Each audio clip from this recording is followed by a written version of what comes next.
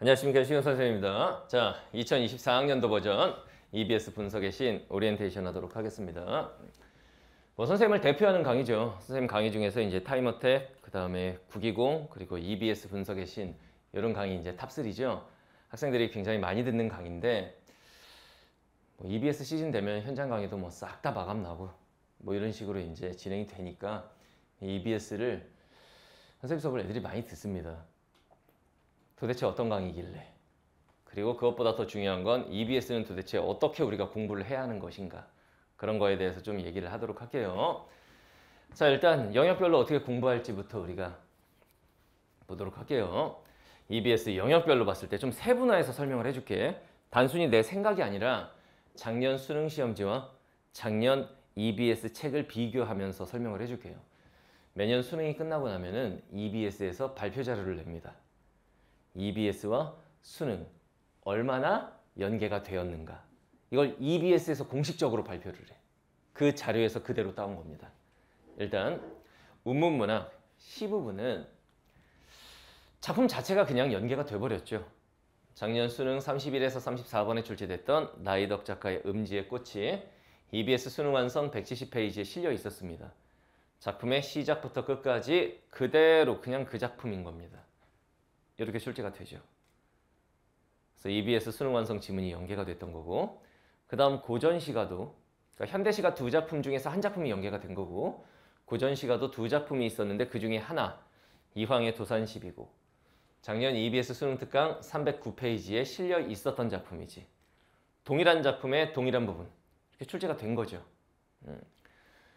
자 EBS 수능 특강에서 지문이 연계가 됐습니다. 결론이 뭐냐? 운문문학은 현대시 두 개 중에 하나, 고전시가 두 개 중에 하나. 그냥 그 작품이 나온다 시험지. 마치 우리가 내신, 내신 시험 범위가 있잖아. 그래서 내신 시험 범위에 해당하는 지문을 공부하면 중간고사 시험지에 그대로 있잖아. 이런 형식입니다. 그러다 보니까 운문문학에서는 EBS 파괴력이 굉장히 높아요. 교재 자체를 그냥 활용해 버리니까 여러분들 반드시 운문문학 같은 경우에는 진짜 중요하게 보셔야 됩니다. 이게 재수 연수생들은 알 거야. 시험장에 갔을 때 내가 아는 지문이 중간중간 나오면 그게 어떤 효과가 있는 건지 그걸 알 거야. 재학생들이 참 용감합니다. 알든 모르든 내가 지문을 분석할 수 있으면 되, 되는 거 아닙니까? 돼. 근데 그게 되냐고. 아는 작품이 있을 때와 없을 때는 천지 차이 납니다. 요거. 자, 다음 산문문학도 연계가 되죠. 현대소설 같은 경우에 작년에 비연계 작품이 출제가 됐고 고전소설이 연계가 됐는데 조이안의 최척전이라는 작품이 EBS 수능 특강에 실려 있었죠. 그 부분도 보면은 양쪽 비교해 보면 어젯밤에 시를 읊던 사람은 조선 사람 아닙니까? 어젯밤에 시를 읊었던 사람 조선 똑같지? 근데 처음부터 끝까지 똑같은 건 아니고 이 부분은 EBS랑 겹치는 부분 그러니까 수능에서 나머지 부분은 EBS와 겹치지 않는 부분 이런 식으로 출제가 되죠. 소설 같은 경우에는. 수능 특강에서 지문을 연계하긴 했는데 지문의 일부가 겹칩니다. 일부는 안 겹치고. 그럼 어떻게 해야 되느냐? 그러면 해야 돼? 안 해야 돼? 해야 됩니다. 당연히 해야 되는 거예요. 그래서 사문문학 같은 경우에는 약간 융통성 있게 공부를 해야 된다. 그 융통성이 무엇인지는 뒤에서 설명할 겁니다. 알겠죠? 자, 다음 독서 영역 비문학 파트입니다. 작년 수능 14번에서 17번 보면은 최소제곱법이라는 말이 나오는데 EBS 수능 특강 289페이지에 최소제곱법 이 내용이 있었죠. 그런데 여러분들이 이것만 보면은 연계되네 이럴 텐데 제재 연계라고 해가지고 이거는 키워드 정도가 겹칩니다. 이 작년 수능 14번에서 17번은 기초 대사량과 관련된 과학 지문이었죠. 그런데 작년 EBS 289페이지에 있는 최소제곱법 요거 같은 경우에는 사회 지문이에요. 사회 지문. 사회 경제 지문입니다. 다시 말하면 전반적인 내용은 다 달라. 다 다른데 그 그래프 해석과 관련해서 최소 제곱법이라는 용어가 겹쳐. 그럼 이걸 공부를 해야 되느냐 안 해도 되느냐? 해야 돼 안 해도 돼? 하는 것이 좋기는 한데 하는 것이 좋긴 한데 문학 정도의 파괴력은 아니에요 이게. 이 최소제거법이 뭔지 알면은 이 기초대사량 과학 지문의 문제를 다 풀 수 있느냐 전혀 전혀 상관없는 얘기가 돼버려 이건 이건 아니야 무슨 말인지 알겠죠? 그래서 제재 연계를 하기 때문에 제재를 활용하지만 내용 자체는 완전히 다르다. 체감 연계율이 낮은 편이다. 그러면 독서는 하라는 거냐 말라는 거냐? 하면 좋습니다. 이렇게 비교를 할까? 문학 같은 경우에 파괴력이 워낙 강하니까 한 세 번 정도, 3회독 정도를 해야 된다고 치면 독서 영역은 한 번 정도 풀어보면 됩니다. 독서 영역을 문학처럼 막 무슨 막 씹어 먹으려고 공부하고 이건 아니란 얘기지. 알겠죠? 음. EBS보다는 독서 영역은 독해력 자체를 올리는 공부를 하는 것이 훨씬 더 도움이 돼요. 알겠죠? 독서 영역만 떼놓고 보면은 EBS에 의존하시면 안 된다는 얘기입니다. 이거. 그 다음 선택 과목 한번 볼게요. 화법과 작문의 화법 파트. 수능 36번에 자료 활용 문제가 있었는데 EBS 수능 특강 230페이지 이게 내가 한 게 아니라고 EBS에서 발표를 했다고 작년 수능 36번은 작년 EBS 수능 특강 230페이지를 연계한 것이다 이렇게 발표를 했다고 자료 활용 문제가 어디엔 없냐? 이거는 일종의 억지라고 할 수 있겠습니다. 그래서 문항 아이디어를 활용했다 이거야. 그림 보이지? 그 그림 있잖아. 뭐 이런 식이거든 지금. 선택지에 있는 내용과 이런 건 내용 자체는 다 다릅니다 지금. 음. 그래서 결론이 뭐냐? EBS 화법 연계는 의미가 없습니다. 자, 그러면 장문은 어떨까? 장문 같은 경우에도 작년 수능 45원 자료 활용, 작년 수특 110페이지 자료 활용. EBS에서는 봤지? 이런 식이에요. 모든 책에 다 있습니다.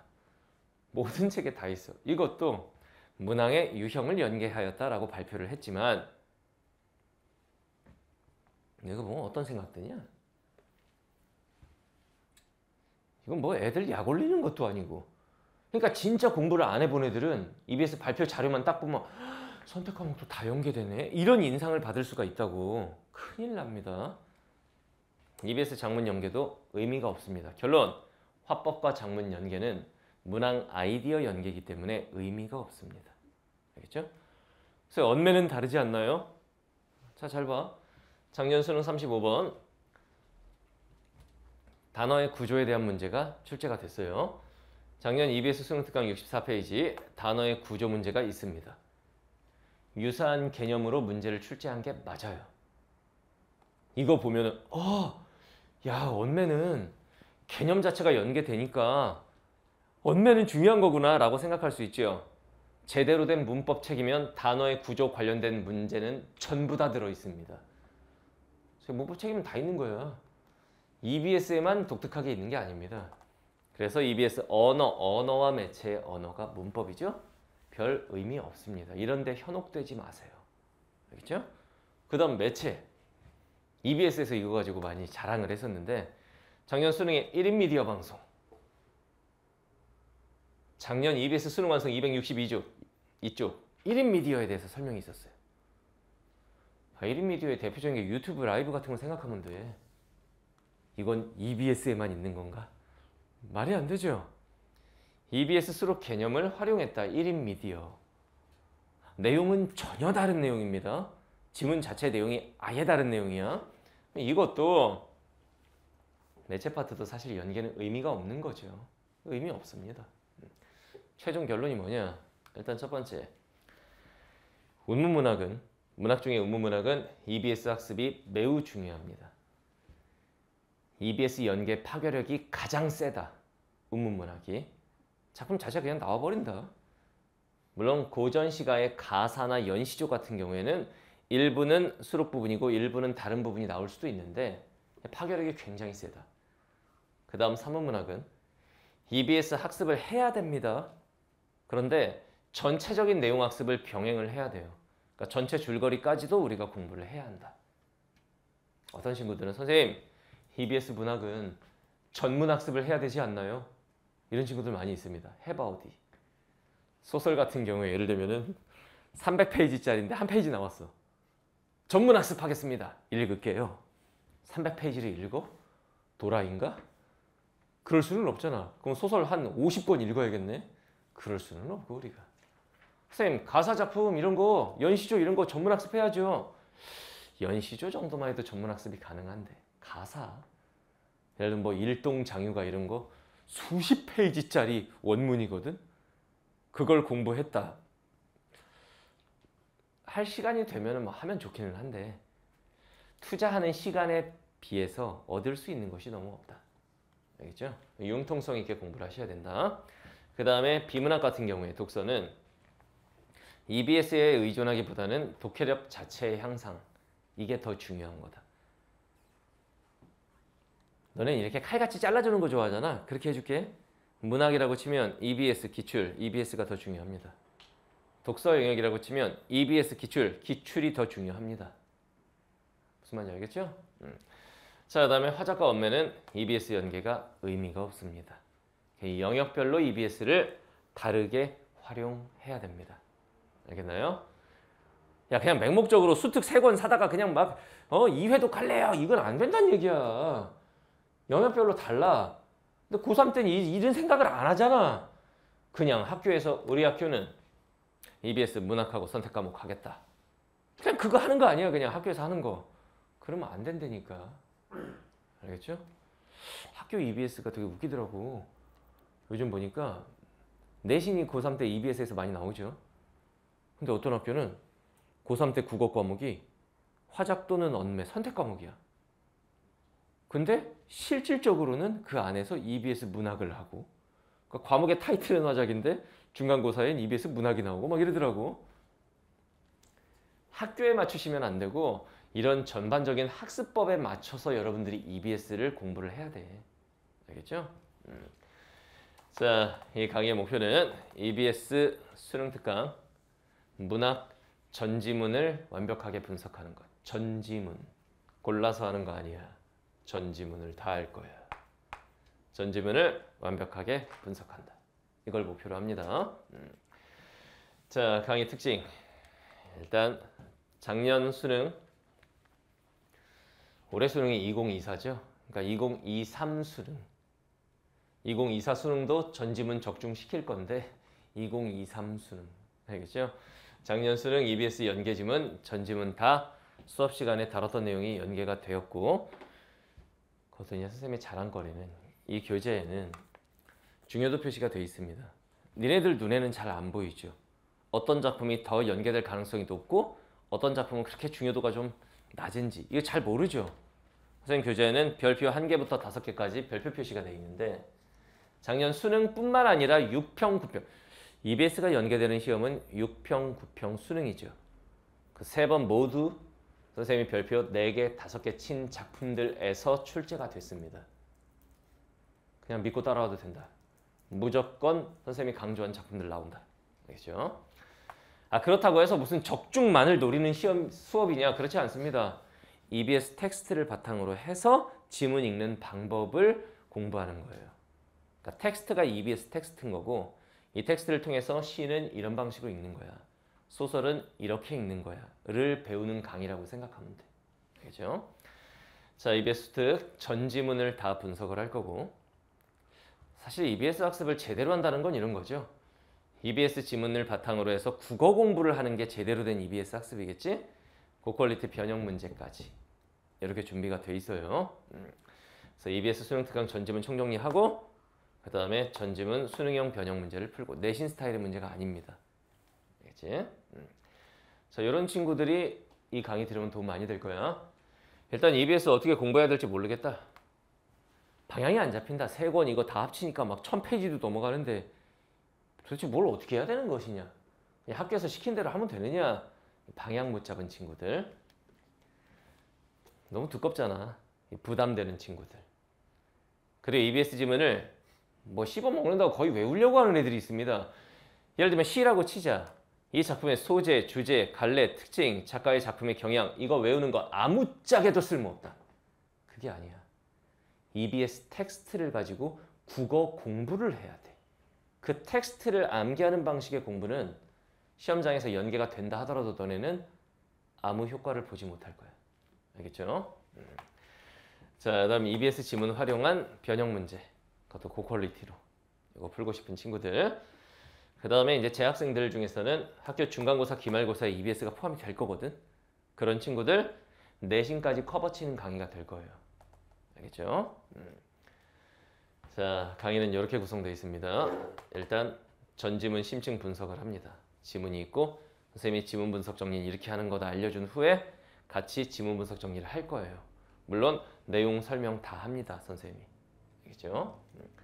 그 다음에 출제 예상 내용을 정리를 할 거예요.